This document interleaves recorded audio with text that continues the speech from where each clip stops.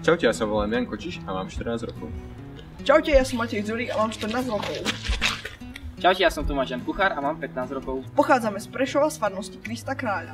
Medzi naše hobby patrí natáčanie a práca s počítačom. A teraz sa presunieme k naplni tohto videa.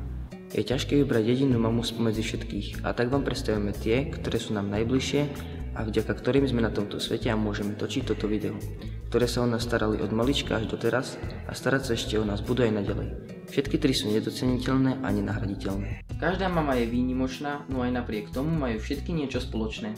Všetky nás milujú, ochraňujú a chcú nám vždy len to dobré. Navaria nám, nachystajú desiatu, postarajú sa, ak sme chorí, pomôžu s domácimi úlohami, či už aj poradia, akou cestou sa vybrať. V skratke, sú proste najlepšie. Čo ti evokuje slovo mama? lásku, obetu, povolanie, istotu, vôňu domova, Čo pre teba znamená byť mamou? služba, dar, byť stále v nezištnej láske, Čo je najťažšie na tomto povolaní? nenútiť, nenastojiť. Keď sa bojím o deti, že sa im niečo stane. vytrvalosť, Je ti tvoja mama vzorom? Moja mama mi je veľkým vzorom, neskutočnej obety k nám.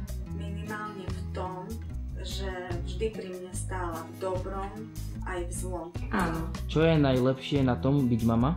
Priviesť naspäť nový život. radosť z detí. Môžem im dávať svoju lásku, Ďakujeme našim mamkám za krásne a úprimné odpovede a teraz poďme ďalej. Všetci okrem našej biologickej mamy máme ešte jednu a to mamu nebeskú. Z okolností je tento rok jej sté výročie zjavenia vo Fatime, kde sa trom fatimským deťom Jacinte, Lucii a Františkovi zjavila po prvýkrát. Od tejto chvíle sa im 13. deň každého mesiaca zjavovala.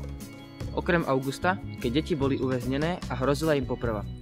19. augusta sa im zase zjavila, ale na inom mieste, kde im slúbila, že 13. oktobra spraví zázrak, aby všetci uverili. Neskôr im vo svojich zjaveniach povedala o troch tajomstvách.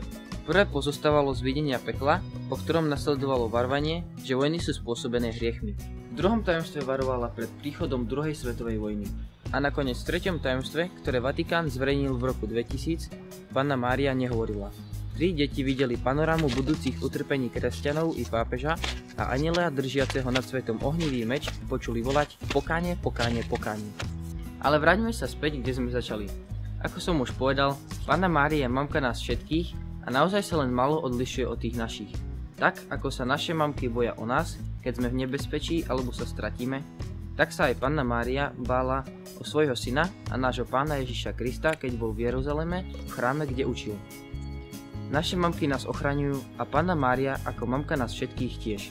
Preto vždy, keď potrebuje pomoc, alebo si nevieme rady, sa k nej môžeme obrátiť. Srdečne vám ďakujeme za zhliadnutie tohto videa a teraz si pozrite ešte krátku reklamu. Vyčerpali ste už všetky možnosti, čo doma robiť? Zapnite si Lux, pretože je to najlepšia voľba ako využiť doma čas. Pre televíziu Lux vyrobilo Trupendo Production.